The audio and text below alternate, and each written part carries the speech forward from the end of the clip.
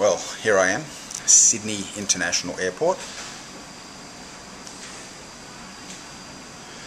Getting ready to head over to Thailand, to Tiger Muay to start my training camp. Just wanted to say thank you to everyone uh, who's helped me so far, my partner for all her help in making sure this trip happened, to all my training partners in gym, uh, for all their support, especially to my sponsors, LoJack, Fairtex, Fightwear International, Bray Digital and Australian Cage Fighter. All you guys, thank you very much for your support.